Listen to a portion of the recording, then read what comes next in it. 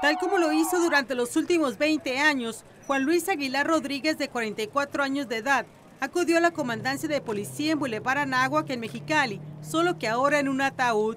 Quien fuera supervisor de la policía municipal en la zona oriente fue asesinado a balazos por unos delincuentes. Su féretro fue colocado por sus compañeros del grupo SWAT frente al monumento a la gente caído.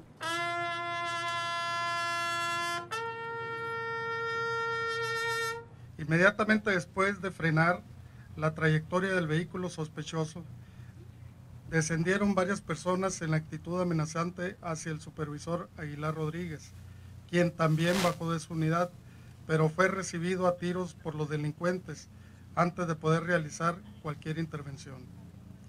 El oficial fue herido gravemente en el rostro, pero antes de caer al pavimento logró accionar su arma y herir de muerte a uno de los maleantes. Varios de los presentes no pudieron contener las lágrimas cuando se hizo el pase de revista. Supervisor Aguilar Rodríguez Juan Luis. Supervisor Aguilar Rodríguez Juan Luis. Supervisor Aguilar Rodríguez Juan Luis.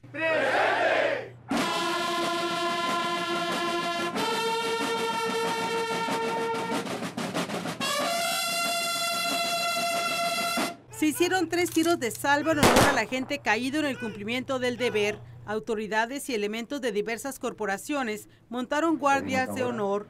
El regidor Cobb Montoya, presidente de la Comisión de Seguridad del Cabildo, expresó el pésame a nombre del alcalde Jaime Díaz Ochoa, quien se encuentra fuera de la ciudad. La sociedad está exigiendo día a día el cumplimiento de la ley, el respeto a las reglas de convivencia.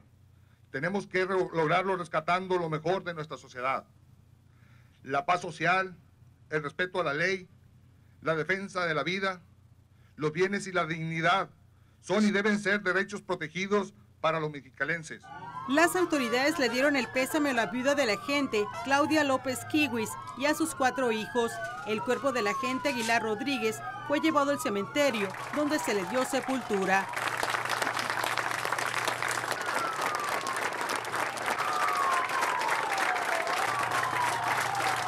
Noticieros Televisa, Alberto Portela y Alicia López Yáñez.